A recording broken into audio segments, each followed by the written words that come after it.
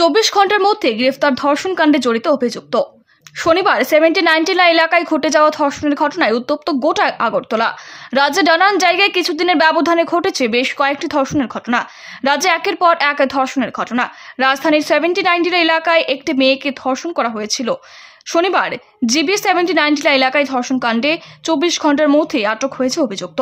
রবিবার এই ধর্ষণকাণ্ডে জড়িত থাকা মূল অভিযুক্তকে আটক করে পূর্ব মহিলা থানার পুলিশ। অভিযুক্তকে গ্রেফতারের পর তাকে নিয়ে আসা হয় পূর্ব মহিলা থানায়। এ নিয়ে এদিন বিস্তারিত জানিয়েছেন পূর্ব মহিলা থানার ওসি পারমিতা সাহা। উনত্রিশ দশ দুই হাজার বাইশে জুলি বাসপুর নামে একটা মেয়ে, তার বোনের মানে একটা বোনের সাথে একটা ধর্ষণ হয়েছে, এমন একটা মামলা দিয়েছে।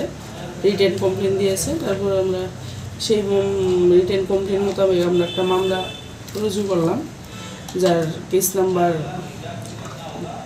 fifty five oblique twenty two endorsement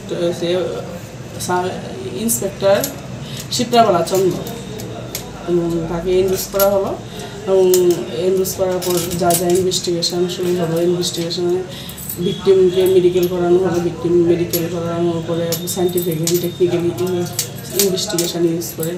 এই কিউস্টের কোথায় আছে কি আসল বিষয় বার বার করে আজকে কুমারঘাট থেকে ডিটেন করে আমরা নিয়ে আসলাম।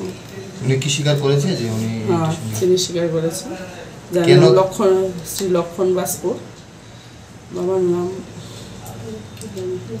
লক্ষ্মী বাসপুর বাড়ি? জিবি সেভেন্টি নাইনটিলা হরিজন কলোনি থানা এনসিসি। আচ্ছা এই মানে উনি কেন কি কারণে মানে না এখনও কোনো হয়েছে। ইনভেস্টিগেশন এখন ইনিশিয়াল স্টেজে আছে। আমরা একটা ইনভেস্টিগেশন তার লোকে কি কোনো সম্পর্ক আসলো হ্যাঁ তার রিলেটিভ ব্যুরো রিপোর্ট আর এ নিউজ।